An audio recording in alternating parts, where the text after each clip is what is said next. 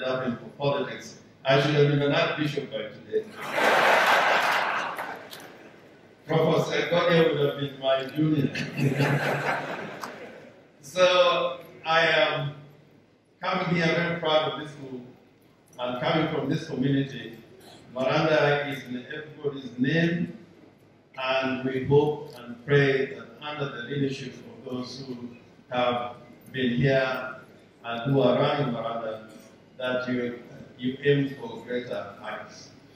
Chief Justice, because without an independent judiciary, without the rule of law, all means nothing.